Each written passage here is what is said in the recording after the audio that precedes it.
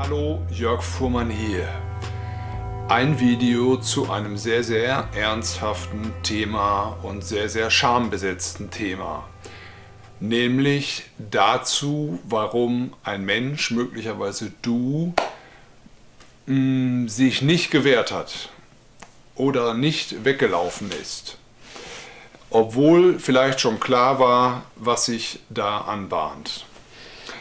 Ähm, ich spreche von Gewalterfahrungen und Missbrauchserfahrungen. Und ähm, ja, ähm, möchte dir einfach eine kurze Erklärung oder einen kurzen Impuls geben dazu, nämlich den, dass wir A natürlich eine Kultur haben, das hat ähm, ähm, Stephen Porges hat das äh, stark betont, Peter Levine auch, ähm, die das Kämpfen und das Weglaufen als ja, große Leistung würdigt und anerkennt und dass Menschen, die das nicht äh, hinbekommen, in einer solchen Gefahrsituation das zu leisten oder zu tun, dass die dann infolgedessen von der Gesellschaft zum Teil auch eben missachtet werden und selbst vor Scham im Boden versinken.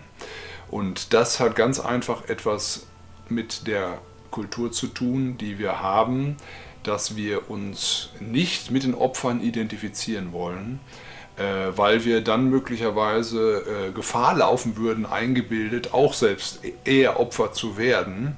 Das ist auch der Grund, warum vielen äh, Opfern, die gerade irgendwo live Opfer werden, nicht geholfen wird.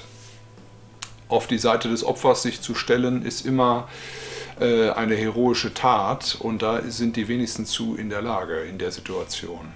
Und das hat interessanterweise werden die ja dann auch indirekt Opfer und sind eigentlich in einer ähnlichen Situation wie das Opfer selbst.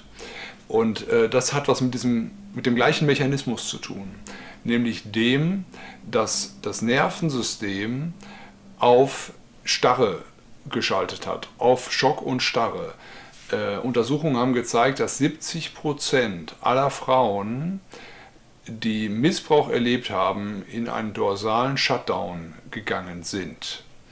Und äh, dieser dorsale Shutdown ist dafür verantwortlich, ähm, dass du letztendlich ähm, dich nicht mehr gewehrt hast oder nicht mehr wehren konntest. Und dein Nervensystem hat oder nicht mehr weglaufen konntest. Und dein Nervensystem hat entschieden anscheinend an einem bestimmten Punkt, jetzt ist es wichtig, den Shutdown reinzuhauen, ähm, ja, die Morphine reinzuschieben, äh, um möglichst, ähm, ja, möglichst gut durch die Situation zu kommen. Wenn ein, ein Löwe frühstücken wollte, ähm, dann macht das total Sinn, dass man das nicht alles voll mitkriegt.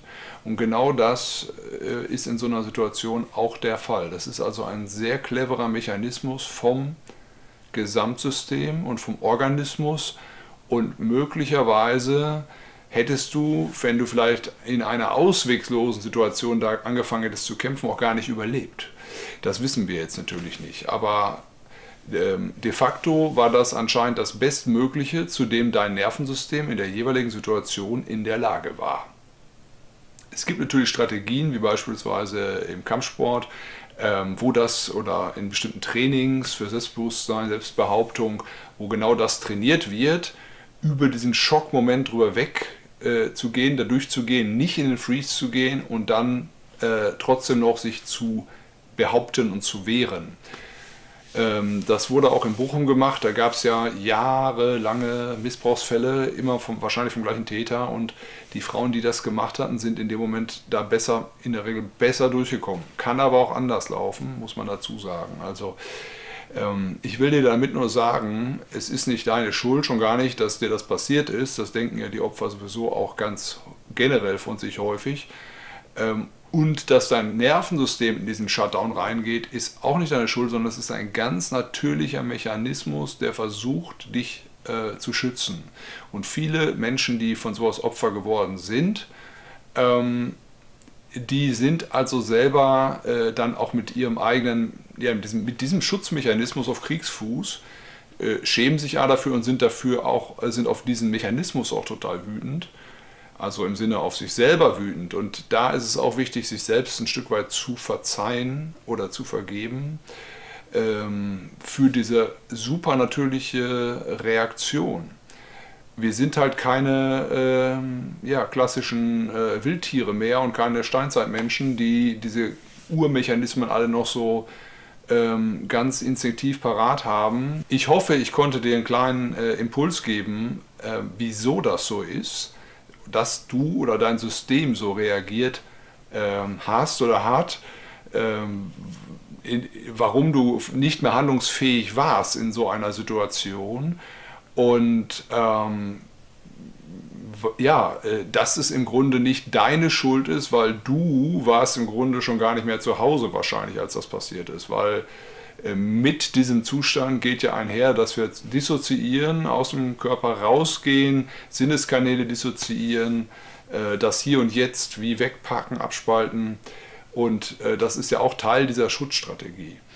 Und ähm, es gibt eben Methoden, wie zum Beispiel auch das TRE, äh, was solchen, äh, was, den, was dann Stress, der daraus resultiert, auch wieder aus dem Körper, aus dem faszialen System, aus dem Muskelsystem, aus dem Nervensystem herausbringen kann. Genau, dazu findest du ja auch ein paar Videos hier im Kanal.